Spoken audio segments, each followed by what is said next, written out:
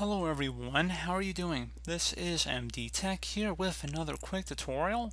In today's tutorial, I'm going to show you guys how to prevent applications from gaining account information access on your Windows 10 computer.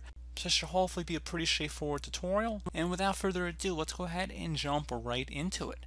So we're going to begin by opening up the Start menu. Just left click on the Start button one time. Select the setting gear icon on the left side where you hover over it. It says Settings. So go ahead and left click on that. Select the Privacy tile.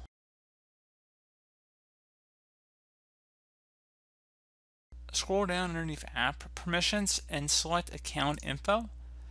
So where it says allow apps to access your account info, if you want to turn off the master control, you can just toggle this to the off position. Or if you just want to turn it on or off for individual apps, you can keep it on and then just do it for individual apps down here.